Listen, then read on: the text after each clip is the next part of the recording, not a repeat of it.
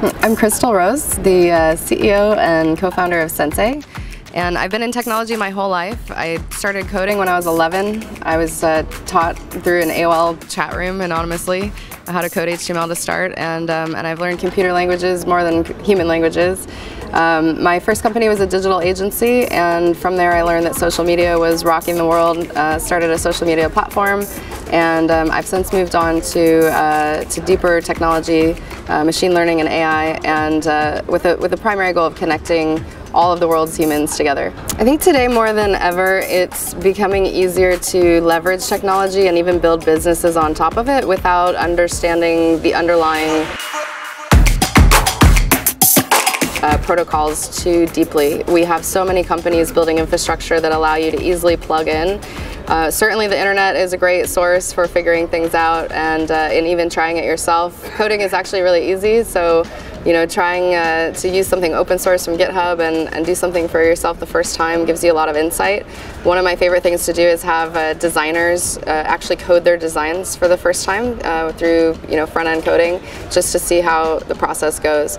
I think in terms of blockchain, it's important to uh, really talk to the people behind it, and a lot of them are very accessible. Look uh, at the, the Telegram groups or any other group that's happening, the forums, and just really connect directly to the people. Uh, that's the best way to learn.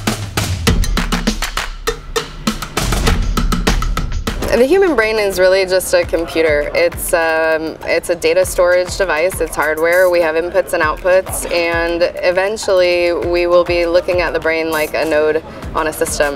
Uh, every single human has a database of, of information on their shoulders that's like a you know, a warehouse, and hopefully soon we can all connect. Um, so I, I, like to talk about the brain on the blockchain because I think that there are things that you want an immutable record for, and there are things that you really want to have as true information that's, uh, that's validated. Eventually, uh, as nodes on a network, as we all connect together, we'll have to have a system where we can have that kind of trust.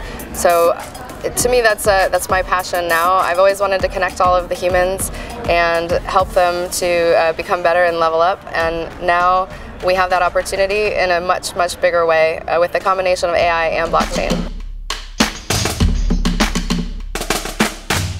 Adoption in this space, while we're moving really fast, is still very slow because it's very hard for consumers to use.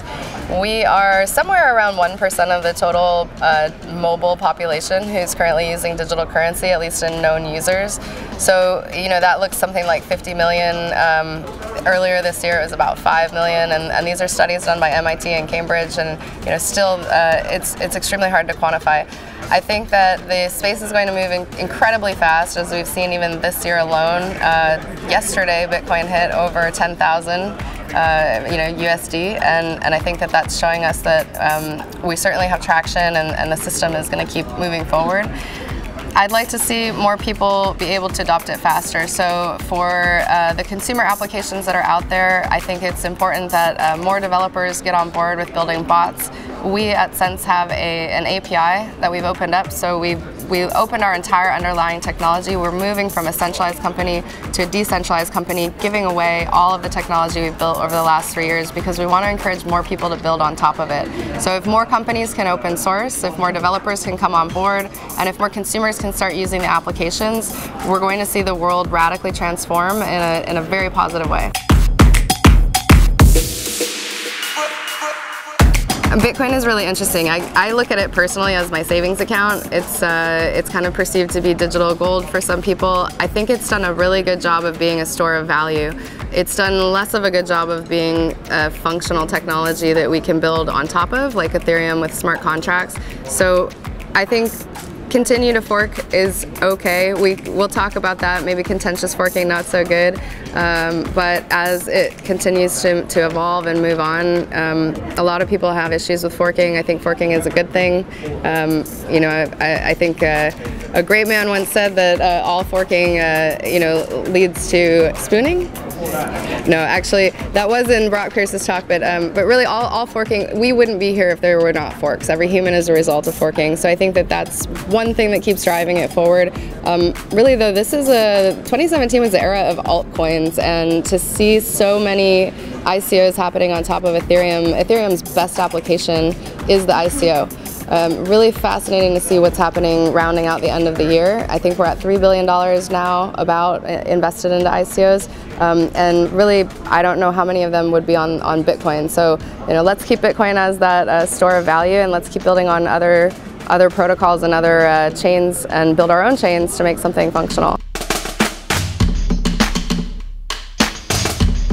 I have a repository of white papers. I'm going to tell you something really geeky about myself. Um, so I am a part of a the White Paper Club. Uh, the White Paper Club is like a book club where we get together for coffee and we read white papers because I think it's really important that people are understanding the ideas that are out there.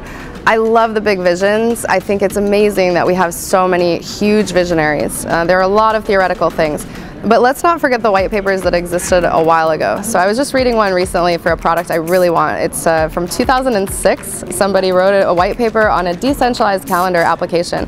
And that sounds super baseline. It's a really, really simple app, and it's probably not something that people want to run an ICO over. But I think that the thing is we don't need a world of uh, of infrastructure and protocols. Eventually the infrastructure is going to get built. Eventually the roads are going to be there and eventually the buildings will be on top of those as well. So the developers who are working on things that seemingly are small, uh, the, the, applications of the future, please get everything decentralized. We need decentralized calendars and to-do lists. We need better email. I think if there's one ICO I really want to see and something I will put down my coins for today, it would be a better system of, of email communication. Uh, it's it's always fascinating to me to explain blockchain. I feel like um, it's kind of like trying to tell somebody who uses a website what TCP/IP is. It's just it, it's almost unnecessary to a point. Um, I've had I've had a lot of interesting experiences. I think that the the word cryptocurrency has probably gotten me the the funniest looks and uh, going through my own ICO has drawn a lot of attention from my entire network. Everybody that I've known throughout my entire life, people from junior high have come forward and distant cousins uh, sending me messages on Facebook. And that process has been really funny because I'm realizing that um, I'm in a, a bubble of, of, intelligent people who are all in this space who know about it deeply, and the the rest of the world has uh, very little idea. And and you know, so you start at the base layer of what is cryptocurrency and, and even that word alone seems a little bit scary. I think it might go away like the word webmaster uh, just from, from the reactions that we get. So, you know, I, I'm having a really good time uh, getting the world to understand uh, blockchain and crypto a little bit more.